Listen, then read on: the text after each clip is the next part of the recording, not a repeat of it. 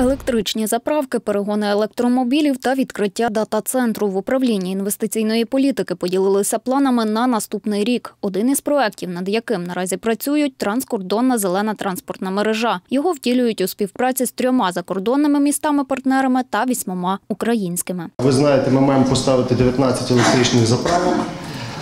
Е, За результатами е, цього проекту має бути три електричні заправки в місті Івано-Франківську, міжнародний пробіг електромобілів, міжнародний форум сталої мобільності в місті Івано-Франківську завершальний. Це все буде у 2020 році. На даний момент спільний технічний секретаріат надіслав нам документи на виправлення. Ми виправили надіслали партнерські угоди нашим партнерам. Вони вже нам підписані, присилають назад, і ми очікуємо цього року підписання грантового контракту в місті Івано-Франківську. І цього року початок фінансування даного проекту. Також Івано-Франківськ подав вісім проектних заявок для участі у програмі транскордонного співробітництва Україна-Румунія 2014-2020. Це, зокрема, створення дата-центру комплексної централізованої системи, що забезпечує безперервність бізнес-процесів. Ми попали в перелік фінансування один із 12 твердих проєктів, е, 1,3 мільйона євро.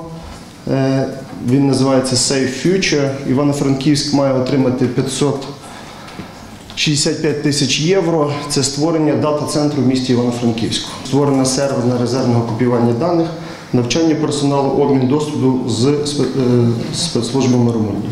Технічна і фінансова перевірка проекту пройдена, відзначають чиновники. За його умовами, до початку зими профільне управління має подати техніко-економічне обґрунтування. Це завершальний, проте один із найважливіших етапів програми. Між тим, уже рік в Івано-Франківську діє Дунайська транснаціональна програма, що забезпечує управління і використання міської, культурної та природної спадщини. Специфічна програма, тому що це єдина програма е, е, Європейського Союзу, яка передбачає 100% е, передфінансування, і тільки чотири області України мають можливості в ній брати. Ми подали на наступний кол е, на наступну проектну пропозицію 6 заявок.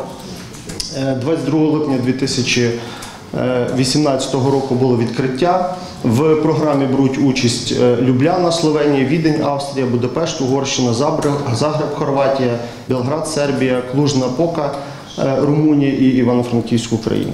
Серед останніх здобутків управління втілені проекти Польська поміч, культурні містки, USAID та інвестиційна грамотність для жінок-підприємців. Ірина Головенко, Юрій Храбатин. Новини на вежі.